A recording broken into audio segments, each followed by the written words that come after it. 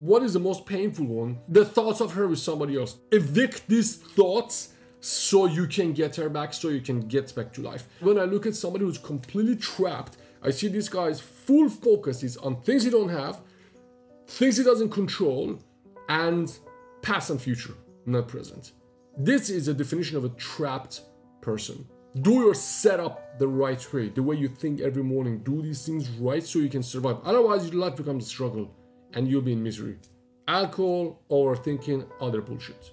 Watch this if you want to get the girl back or if you're struggling with emotions because of another woman. Now that you're in this position, for any reason she's gone, you are surrounded by these, what I call them the dark holes. What are these black holes? One of them is alcohol. One of them is repetitive thoughts about your ex. The bad thoughts, you know the thoughts of what if she doesn't come back? Or what if I never meet someone like her again? Now if you look around you, if you write this down, I get you to do this in the program, you can you see you're surrounded by this because right now your mind turns against you and you are in lack. When you're in a position of lack, always fast forward. Two months from now, you can be with this girl or you can have that woman you don't want. You can be happy. You can have all these things you don't have. But for you to be able to do that, you gotta stay away from these darkness, threats, like your thoughts are around you. If you have access to social media, if you have access to alcohol, if you haven't been trained on how to work your mind, very easy for you to stop obsessing over this girl. I'm not discounting your relationship.